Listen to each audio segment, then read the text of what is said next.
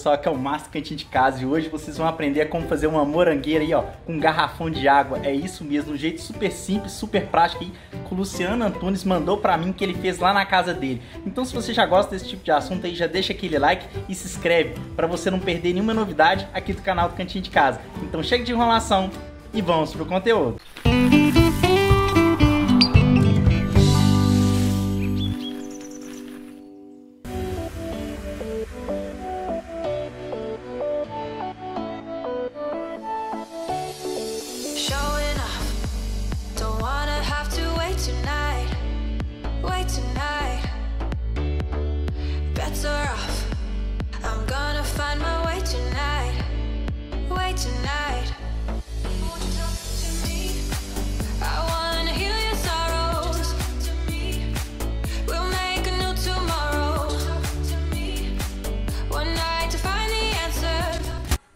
pessoal, tudo bem? Luciano Antunes. Hoje eu vou preparar a terra aqui, ó,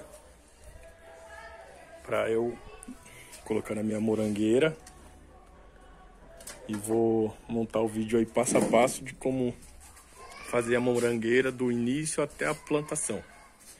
Tá certo? Os morangos estão ali, ó. Vou desmontar aqueles lá. E aqui, ó, eu vou preparar a terra.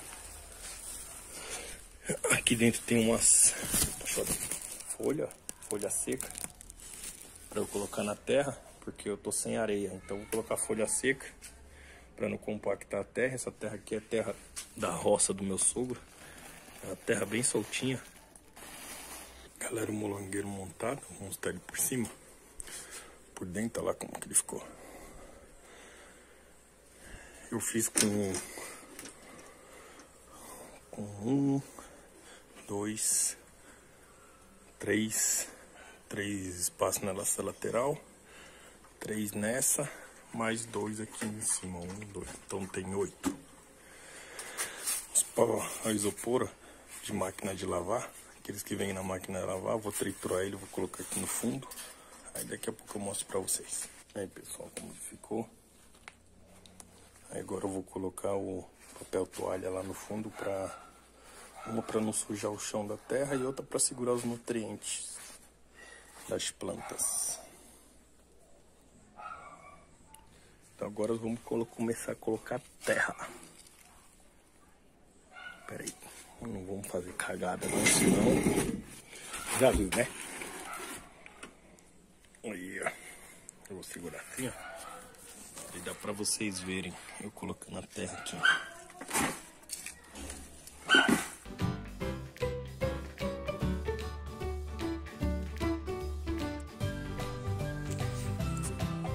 galera, prontinha, plantada a morangueira.